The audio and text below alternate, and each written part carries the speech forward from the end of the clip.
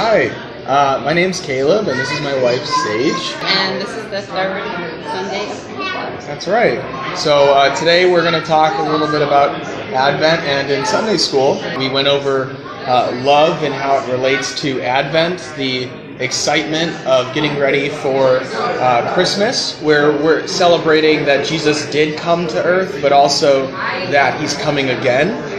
Uh, so some of the topics that we went over were that um, there's the excitement of looking forward to Jesus coming and restoring earth, restoring his people, um, saving people from their suffering, saving people from their sins. But we also look back at how uh, the first time Jesus came to earth was to be born a baby, live a perfect life, and then die for their sins.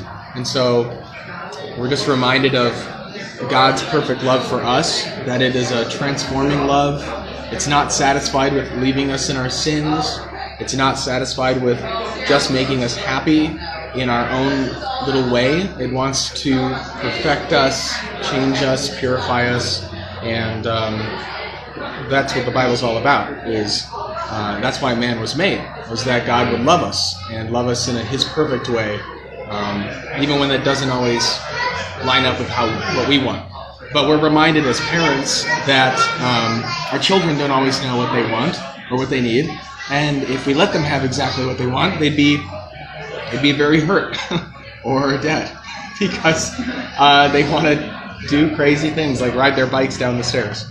So the love of God is a mis- is a mysterious thing. It's an amazing thing, and it's something that we can get excited about in this season and, and look forward to and learn about. So um, yeah, I just love this time of year because we're all focused on it. So And we talked about how God gave us illustrations to help us understand His love. So um, He talks about how we are friends, friends of God, um, that we are sons and daughters of God. Um, he gives us an illustration of husband and wife representing uh, Christ in the church. Um, so he gives us many ways to try to understand just um, the greatness of his love for us. yeah, it's a pretty amazing love that needs multiple relationships to be kind of just under like that we can understand it as humans. How can we understand something so divine and so eternal? God gives us all these different natural relationships uh, in order to break it down for us, and so um, it's, it's exciting as we uh, anticipate this.